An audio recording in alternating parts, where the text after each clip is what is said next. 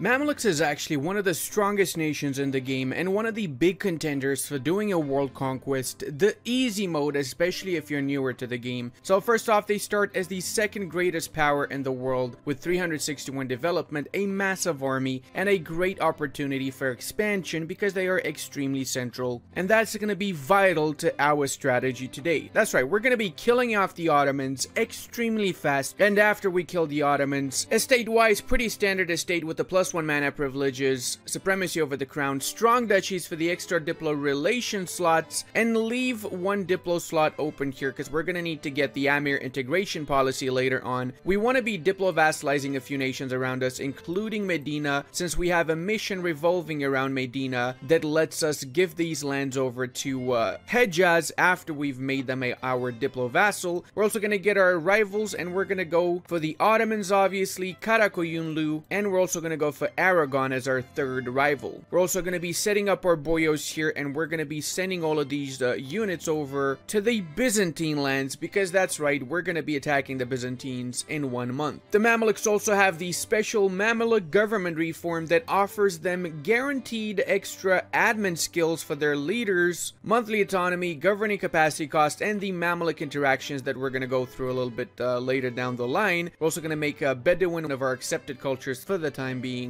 and alliance-wise, we're gonna go for the Tunisian alliance since we need to make sure Tunis does not ally the Ottomans. If we don't get that alliance, the Ottomans might get that alliance and then we have to fight on two fronts. Because of our size, look at the amount of nations that want to diplomatically become our vassal and we're not gonna disappoint. We're gonna make quite a few of these our vassals diplomatically, such as the nation of Fezzan. Time to get a general since we're gonna need one for the attack on uh, the uh, Byzantine lands and let's bring our our fleets over to the Aegean Sea. It is the 11th of December, so we're going to be attacking the Byzantines. I'm not going to co-belligerate Serbia because I don't really want any of their stuff. We are no being the Byzantines, of course, since we do not have a uh, proper Casus Belli right now. And we can also use this interaction here to get a little bit of money. So we're going to go for lower corruption, which means we debased and we got zero corruption, starting with 200 ducats, without having sold our crownlands or anything of the sort, and without taking any loans. Few months have passed, we can make diplomatic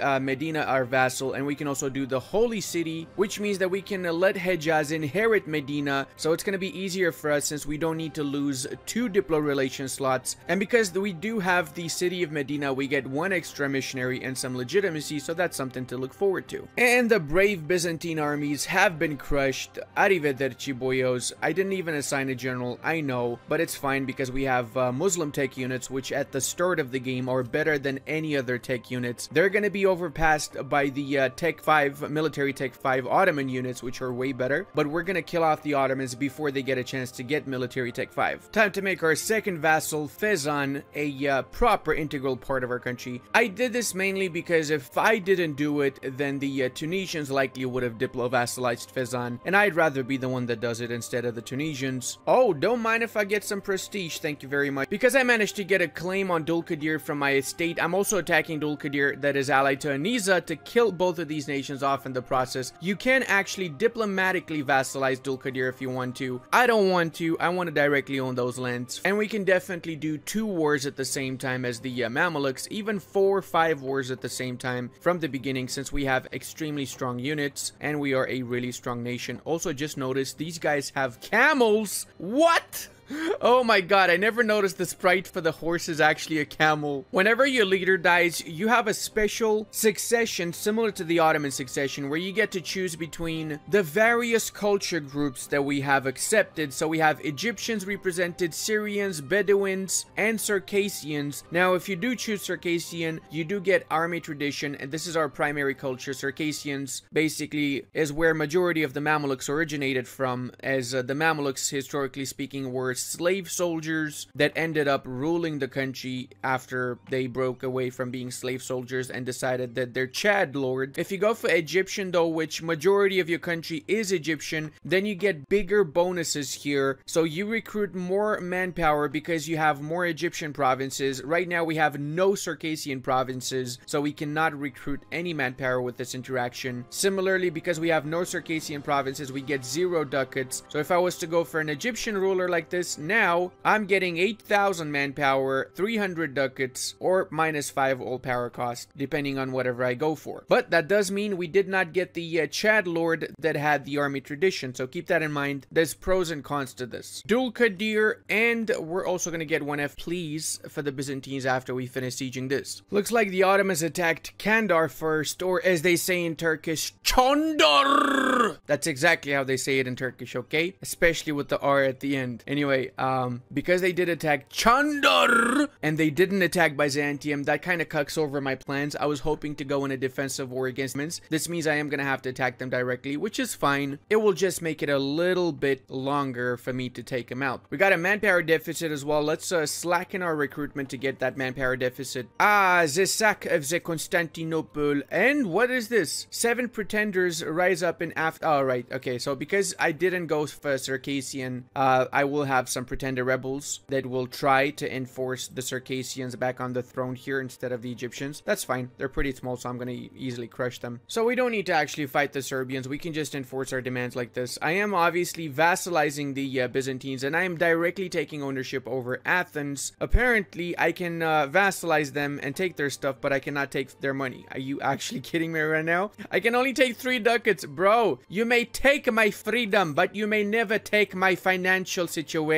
That's uh, very Byzantine of them. Oh, this is beautiful. We're gonna use uh, the Byzantine's core to attack Epirus, which apparently is allied to the uh, Knights. I want to kill the, the Knights right now since the Knights are one of the most annoying creatures in the Mediterranean whenever you're playing as a Muslim nation since they raid my coastline continuously, destroy my economy. I want to kill them as soon as possible, even before the uh, Ottomans. So yeah, plans have changed, boys. I know, it's for a noble cause, alright? This is honestly something you should take note of. Like, in your games in general, try your best to mold yourself on whatever RNG you do get, rather than trying to mimic or completely do the same thing that somebody else did in their game. That's not how this game works, because every single game is different, so you just need to know how to adapt and overcome any situation that comes at you. I'm gonna need a little bit more money for the upcoming wars, so I'm gonna go for the uh, Burghers Guild that are 1% loans, essentially free money, and I'm gonna use these loans to build 10 galleys minimum, as well as recruit some mercenary companies after I slacken my recruitment a little bit more, so we can do it two times more. There you go, maybe one time more. Yeah, two generals, we got one more, and we can get rid of some of the trashy generals like uh, that guy. Also means we got rid of this disaster since we have above 50% manpower now. Most disappointing fight ever. We only managed to capture one ship, but I guess one ship is better than no ships, right? Let's go ahead and uh, fully annex the uh, knights here. We are starting to get a coalition of uh, Christian nations mostly, so uh, nobody we need to worry about realistically speaking. We're also going to be deleting the fort that they have in this province. When it comes to Epirus, we're doing split seas, half for our Byzantine broski and half for our nation since we want to get the island of Cephalonia for ourselves. Now that we're at peace, we can get again Karakoyunlu as a rival. We also can get 5% crownlands extra. Let's actually summon the diet first so we don't need to fight rebels. And Sivas owned by the Mamluks. Hell yeah, where is Sivas? Oh, it's in the Ottoman lands. Oh my schnipple doba doba da baba da boo. That's what I want. That's literally what I want. Ah, yes, the Furusiyya, which gives us 25 army tradition, but we lose 5,000 manpower. Now, if you do not want to lose 5,000 manpower, you can do this, and then um, after you click this button, you still keep these guys and you just cancel them. But that's honestly a little bit of a cheese, and I'm just gonna take the 5,000 manpower hit there. With that extra army tradition, we should be fine in uh, the war against the Ottomans. We're gonna set Gelibolu as our main war target, and we're gonna start this nasty war. And we're also gonna be focusing actually first on Akoyunlu, take them out of the war before we start focusing on the uh, Ottomans themselves. Looks like they also did not maintain this uh, capital fort, so that should be a little bit easier for us to take it. And that's pretty much it for the army of Akoyunlu. Was nice knowing you, boyos. The galleys that we commissioned earlier have finished, so now we have more ships than the Ottomans. I didn't co-belligerate Akoyunlu, but I'm still taking two provinces by the border with uh, Karakoyunlu And this is a tactical thing because it allows me to attack these boyos and uh, take more of their land. I could have done so even before because I have a core, so I can do a reconquest of core from my vassal uh, Fadl here. But by the time that I'll likely attack these guys, Fadl might be integrated depending on what RNG decides. So this is kind of just an insurance, let's say. Hisn Khalifa, I'm honestly just killing off out of principle because they are the last of the Ayyubids, and the Mamluks are kind of the ones that kicked out the Ayyubids. This is what's left of them. I'm just finishing the job here, okay? The Ottomans just trapped half of their army on the island of Rhodes, which is likely one of the biggest brain things they've ever done in recent years. And yes, I am barraging every single fortification that I can barrage by the coastline because I don't have the patience and I just want this war to be over the sooner the better. By the way guys, if you're interested in this save game, you'll find it available on my Patreon or as a channel member as well. And do consider subscribing. I am a full-time content creator and just that simple one subscription really helps me out so much more than you can imagine. Of course, only subscribe if you do think you will enjoy the content. If you don't enjoy it, that's fine. I fully understand. You don't need to subscribe. Just know I will be silently judging you, okay? There's gonna be some silent judging. Hot diggity dog, that was extremely fast taking Edirne. In fact, it's been taking me a lot longer to take Sugla compared to all the other... Okay, look at that. 555 days, okay? That's exactly what I'm talking about here. But yeah, now we can do our peace deal. Um, I honestly, I just want to take these lands here to cuck on over the Ottomans. Plus, I don't mind taking this so I can get a connection to Serbia, but I'm not going to do that in this war. I'm only taking Sivas because I can release Eretna from here, so I'm just going to take the money afterwards. And that's pretty much it. Let's go with the peace deal. It literally took us only five years in this war to kill the Ottomans off, and we started the war with uh, one tech behind them, which is literally why it took us five years. Otherwise, would have taken a lot less. And now we're to release Bulgaria and Eretna and feed them back the cores in the next war against the Ottomans. Wait a Schnekond. Mosul area. Am I getting a claim on the entirety of the Iraqi area? Not the entirety of the Iraqi area, but a lot of these provinces. Holy mother of God, I love that CB. We're to use that. Let's wait for our troops to get here first. I am to enable Scutage on Hejaz, Fezzan, and uh, Fadl because I'll be integrating these guys whilst I'm at war with Karakoyunlu. And in order for me to integrate them, they need to be at peace, which means I have to enable Scutage. And I'm also going to give out this privilege, Emir's integration policy. That means I'm not going to get the Diplo rep Malus after I integrate these boyos. And I'm not going for the reconquest of uh,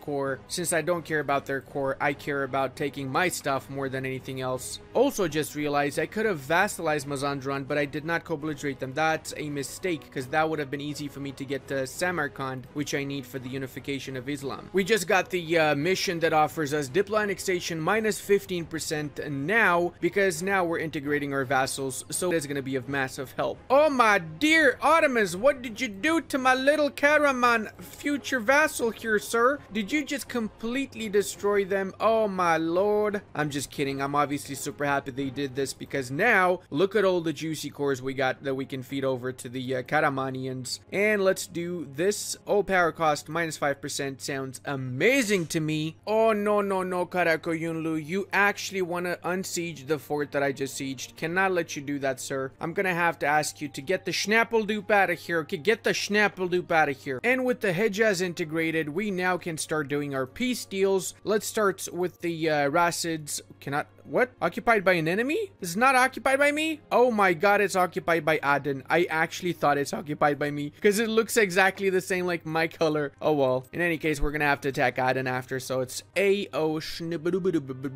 I don't know what happened there. When it comes to Karakoyunlu though, I am gonna be going for this disgusting peace deal. And uh, hear me out. I know what you're saying right now. Oh, you should take only one province and then you release Iraq, my bro. I know, okay? I know. Look at that juicy 97% overextension there, boys. That is just delicious. If you don't have overextension when you're playing as the Mamluks, you're doing something wrong. Also, let's uh, diplo-vassalize these guys. I forgot about them. Let me improve relations a little bit more. Hey, look at that, boys. We can get 9,000 moon power. Of course, I'm gonna go for that. I need the moon power. Um, excuse What the hell is happening here, Hungary? is Hungary actually carpet sieging the Ottomans right now? Every time I see this country's name, Shirvan, I think about the uh, wine. Shiraz? I know, it's not related, because Shiraz is from Iran, from this area somewhere. Oh, there you go, it's here. I don't know why. Just Shirvan, Shiraz, sounds similar to me. Maybe there's a wine called Shirvan, and I'm, I'm thinking about that somehow. Wait, what? Mushasha just had a war with uh, Karakoyunlu, and they managed to win. They took two provinces from QQ. Bro! We vassalized Mahra, which means that we now can start expanding more in these lands, since I also want to take uh, Muscat from Hormuz. This is going to make it a lot easier for me to do so. I've also directly taken control of uh, Socotra, and now it's time to do my peace deal with Aden. Just got to get rid of these rebels first. 117, 110. Alright, so we can do this peace deal right now. Again, nobody gives a schnappledoop about these boys, and I can kill off the rebels uh, right afterwards. Let's bring our army back as well, since we don't need them here anymore. Now that our truce is over with the Tunisians, we're going to be expanding into the west, co-belligrating Granada and Morocco, because we do plan on taking some provinces from Morocco as well. Oh no, we haben ein starken Vapenikum on the Tunisian. And take that, you Sussian Bastardski, because you know, they are actually sus. Despite the fact that Granada is uh, at war with literally everybody around here, and uh, the fact that uh, Portugal's got 68% war score, I still am able to vassalize them 148, 119, and I can take some money as well. If I do vassalize, I'm going to be in a war against the Portuguese and the Castilians, which is a-okay, only against the Castilians. What about the Portuguese war? Oh, right, because the Portuguese war is a little bit different because I am at war with Morocco, and if I was to take lead in the war against the Portuguese, I would have Morocco on my side. So that means I'm still going to take lead in that war once I peace out Morocco. Actually, that's not so bad because I don't mind being uh, only Castile to worry about now since I can just quickly take one province that I need from the Castilians, namely this province in Cordoba. Alright, we got Toledo. Maybe that is enough to get the one province. Yes, it is actually. I really don't want anything else from them. Maybe a little bit of cash and that is pretty much it. Let's uh, get back here to our bees and trees since we need to peace out the Moroccans now. We've got a pretty significant coal for peace. 0.81 per month is massive. I was going to be snaking all the way into Ifni, but Portugal decided they want to be the nasty boys and they took the province of Sus, which means I cannot. So I'm just going to snake like this instead and take a little bit of money in return. And now that I am at peace, I'm going to enforce my uh, peace over the Portuguese because I still cannot get cold in the Portuguese war that my Granadan vassal has. It's just how the game works. However, I can do enforce peace because Granada still is my vassal and that means I can just attack him like this now. Alright, time to make peace with the Portuguese. I'm going to get province from my uh, vassal Granada since this is a core of Granada anyway and this way we have access between uh, Europe and North Africa. Get a bit of money to uh.